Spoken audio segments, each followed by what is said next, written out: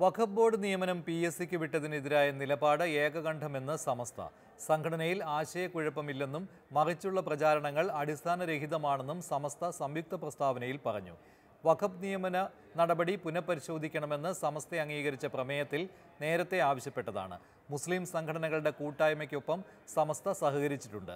വെള്ളിയാഴ്ച പള്ളികളിൽ വെച്ച് നടത്താൻ നിശ്ചയിച്ചിരുന്ന പ്രഭാഷണം രാഷ്ട്രീയ വിവാദങ്ങൾക്കും കുഴപ്പങ്ങൾക്കും കാരണമായേക്കാം.